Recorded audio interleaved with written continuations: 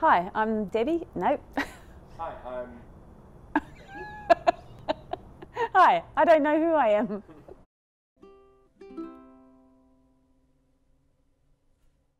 Hi, I'm Debbie. I'm the owner of Special Day Creations. Today I had a challenge, which was to set up a 21st birthday party in my garage. Uh, it was a bit of fun. We didn't know what we were going into. We just thought we'd pull a pile of stuff together. So have a look at the video and see what you think. Bye.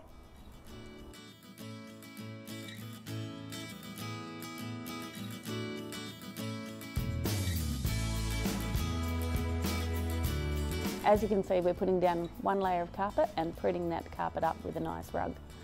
Just want to hide some of those greasy stains on the driveway. Normally we set the backdrop up where it's going to go, but this time we actually had it already set up, so we rolled it into position.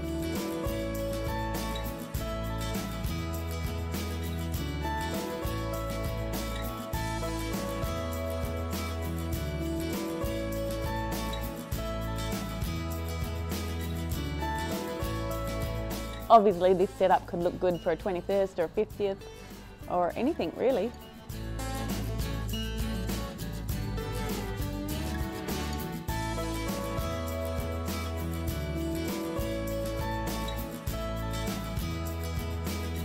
I'm loving these baubles. They've got a pearl tone. I don't know if you can see it in the video. They look kind of like my earrings. Unfortunately, I'm too short to put them on, so I had to get Hudson to do it for me. We made the lights purple, but we can make them any colour depending on your colour scheme. This setup is pretty feminine, but next time we might muck around and see if we can do a masculine one. So as you can see, we tried out a few different things. That love heart with the lights, nope. it was a no.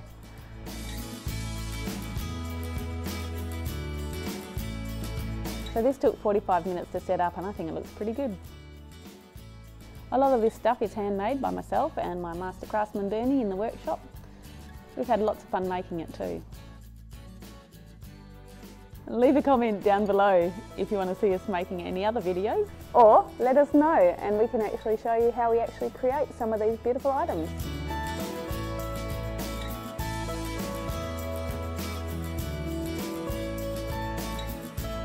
So each video we're going to try and do something different so if you want to subscribe, follow, share or like, go for it.